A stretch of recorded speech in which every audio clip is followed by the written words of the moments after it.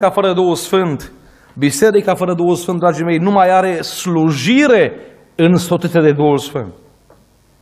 Ascultați ce important e ca Duhul Sfânt să însoțească, de exemplu, predica. Fapte 10 cu 44. Pe când rostea Petru cuvintele acestea în casa lui Corneliu, s-a coborât Duhul Sfânt peste toți cei ce ascultau cuvânt. Dragii mei, putea Petru să coboare Duhul Sfânt? Nu putea. Dar el o sta la îndemâna Domnului, o predicat și pentru că a fost curat, a fost un om sincer, o sta la dispoziția Domnului, Duhul Sfânt s-a coborât peste oamenii din sală.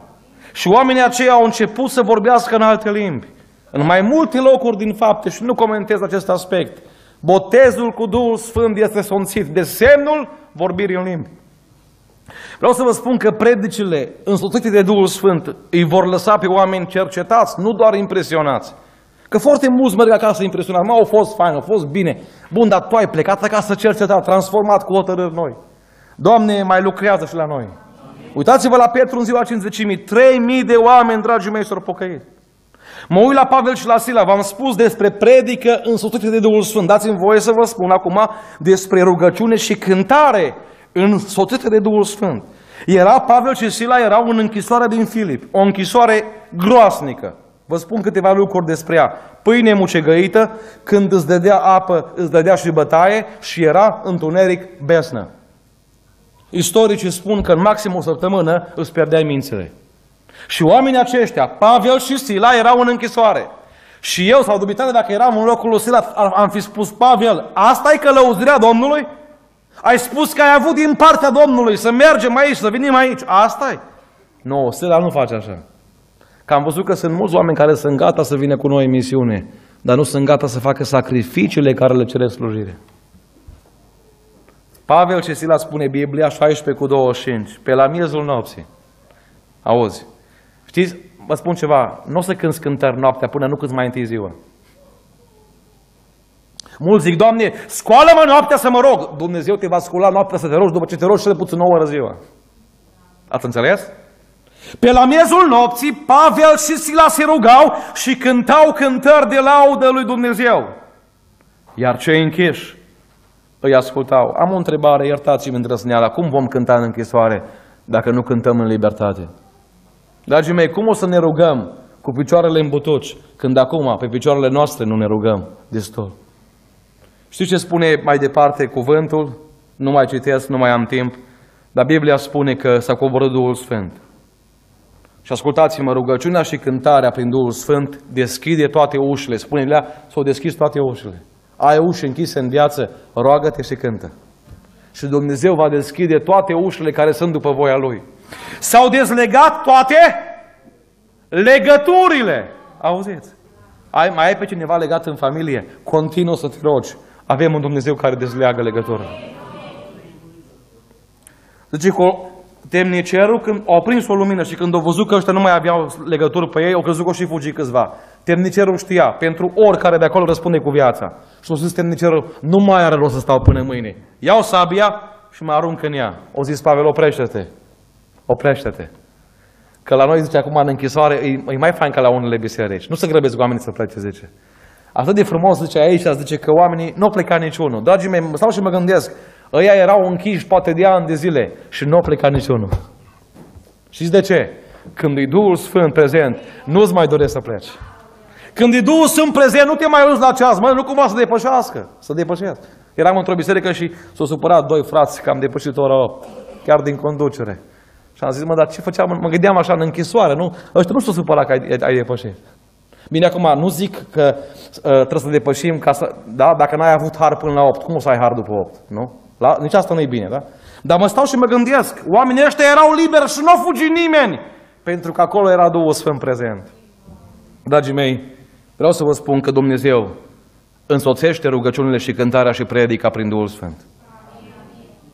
Îmi spunea un frate din Bucovina, astăzi în, într-o convorbire telefonică care am avut-o, frate Cristi, în urmă cu o lună la noi aici, o lună jumate la noi aici, a murit un frate.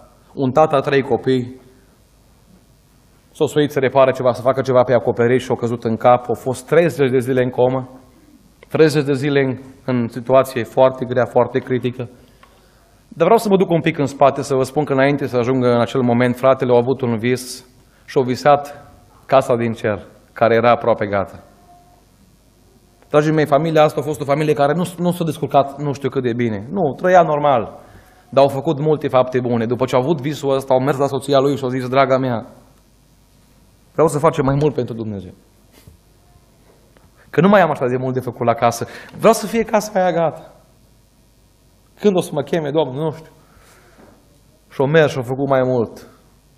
A ajuns în comă la spital după 30 de zile. A murit. Unde vreau să ajung? Sora este singura din familie pocăită. De peste 20 de ani îndură batjocurile părinților, fraților, cumnaților. E singura din familie pocăită. Mama ei a murit cu mai mulți ani înainte, spunea ea, când eram tânără și m-am pocăit, citeam Biblia acasă și părinții și frații dădeau televizorul la maxim numai să-mi încurce citirea Bibliei. Atâta bătaie au luat mama care a fost ortodoxă de la tata meu, care a fost și el ortodox, încât atunci când m-am căsătorit am zis, eu vreau să-mi aleg un pocăit ca să nu mai iau bătaie. Dar ea s-a pocăit așa cu sinceritate și prima condiție care i-a spus-o la viitorul ei, soțul a zis, îmi promis că nu o să mă bați niciodată. Dragii mei, mărturisea femeia aceasta după mormântarea soțului meu. Avem atâtea motive să mă las de toate. Singurul care mă sprijinea și îmi spunea, iarte mai departe, roagă-te pentru ei, era soțul meu. Dumnezeu mi l-a luat acasă. Am rămas singură. Vreau să vă spun că de 20 de ani femeia asta se roagă pentru tatăl ei. Mama ei a murit acum câțiva ani, a murit nemântuită. Dar de 20 de ani se roagă pentru tatăl ei. După mormântare, femeia aceasta a continuat, la fel ca înainte, cu rugăciuni. Eu vreau să vă întreb, când Dumnezeu îți ia soțul, mai ai chef să te mai rogi? Iertați-mi expresia de la amor. Parcă așa îți vine să spui, nu mai fac nimica. Deci nici tatăl nu s-a pocăit, frații dau în mine, cum natele dau în mine, Dumnezeu îmi ia soțul? Parcă îți vine să nu mai faci nimic. Ascultă-mă să spun ceva. Când nu mai poți tu, poate eu. Mă sunat la delegația de Cristi, vreau să spun, săptămâna asta, într-un într-o comună mare din Bucovina, în fața bisericii s-a ridicat în picioare un om din lume și a zis, eu sunt tatăl acestei, acele, acestei femei. De 20 de ani fata mea se roagă pentru mine. De 20 de ani mă vizitează, de 20 de ani mă aduce medicamente, de 20 de ani se roagă pentru mine și au venit la mine împreună cu altora și m-au căutat. Vreau să vă spun astăzi că am luat decizia să mă pocăiesc. Pentru că am văzut-o că era, e plină de Duhul Sfânt, am văzut-o că femeia asta, chiar dacă Dumnezeu i-a luat soțul, nu s-a lăsat de el, mai tare s-a prins de el. Dragii mei, știți ce vreau să vă spun în această seară? Că Dumnezeu ascultă rugăciunea. Că Dumnezeu, dacă continui să te rogi, dacă, indiferent ce spun cum nații, cum natele, nu știu câți pocăiți ai tu în familie, nu știu prin ce tot trecut Dumnezeu. Alții nu s-ar mai fi rugat în locul ei. Dar vreau să vă spun că această femeie o izbucnit în plâns când au văzut decizia tatălui ei și o știut că noi avem un Dumnezeu care ascultă. Că nu ascultă toate rugăciunile, e voia lui, face ce vrea. Că ia soțul, că ia soția, că ia copilul. Dar ascultați-mă, în toate, eu știu că ceea ce face stăpânul e bine. Și dacă am călăuzirea Duhului Sfânt și Duhul să mă însoțește, eu știu că nu o să ajung la final până nu o să văd mântuirea în casa mea intrând. Că nu o să ajungi la final până nu o să vezi cu ochii tăi cum Dumnezeu lucrează cu semne și minuni.